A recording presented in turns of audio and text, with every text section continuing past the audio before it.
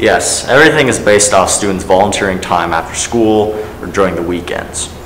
And though travel teams and launching crews will be limited, everyone is allowed to participate, even if they're not from the engineering academy. So it's only after your sophomore year when you decide which track in engineering that you're going to go into. In your freshman year, you take one class. In your sophomore year, you take two. After that time, you decide which class suits your interests and needs, and you pursue that track for the rest of your high school years.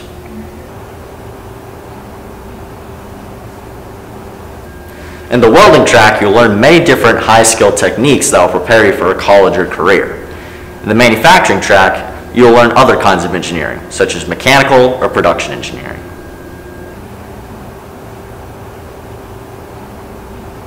We prepare you for a life after age 18.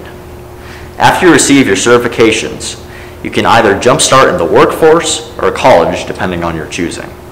With your new certifications, you can get a head start in a college or the workforce in a real-world environment, depending on your choosing.